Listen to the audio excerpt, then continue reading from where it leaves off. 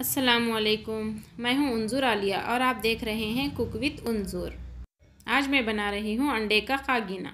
अगर किसी दिन तरकारी खाने का मन ना हो तो बनाइए झटपट अंडे का खागीना। इस रेसिपी के इंग्रेडिएंट्स आप यहाँ देख सकते हैं। चलिए अंडे का खागिना बनाना स्टार्ट करते हैं। अंडे का खागिना बनाने के लिए सबसे पहले हम यहाँ पर एक पैन लेंगे और इसमें थ्री टेबल स्पून ऑयल डालेंगे। चार बड़ी साइज़ की प्याज को इस तरह से कट कर कर डाल लें। एक बार हम इसको अच्छे से मिला लेंगे और ढाँक कर पाँच मिनट तक हाई फ्लेम पर पकाएँगे। और पकते वक्त बीच बीच में हम इसको मिलाते रहें, वरना ये नीचे से चिपक जाएँगे।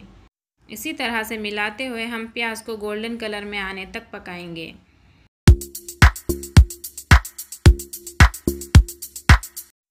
आप देख सकते हैं प्याज गोल्डन कलर में आ गई है। अब हम इसमें वन टेबल स्पून अदरक लहसुन का पेस्ट डालें और दो मिनट तक अदरक लहसुन को हम अच्छे से भून लेंगे और गैस का फ्लेम हाई रखें।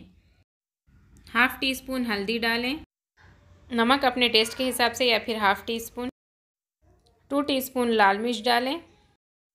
बस दो मिनट इसको अच्छे से मिलाकर पका लें। बस दो मिनट इसको अच्छे से भूनने के बाद अब नेक्स्ट हम डालेंगे चार हरी मिर्च।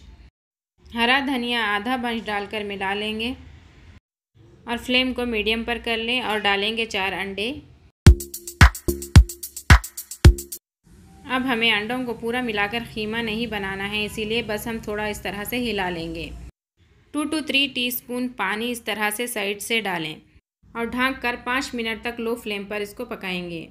हम थोड़ा सा पानी इसमें डाले हैं क्योंकि हमें ढाँक कर पकाना है। अगर आप पानी ना डालें तो नीचे से प्याज जल सकती है।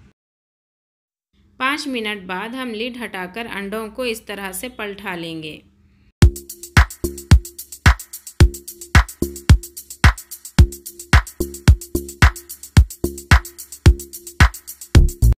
अंडों को दूसरे साइड भी पका लें ढाँक कर दो मिनट तक लो फ्लेम पर।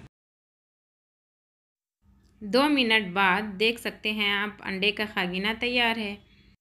इसे बनाना बहुत ही इजी है और ये जल्दी बनकर तैयार हो गया है।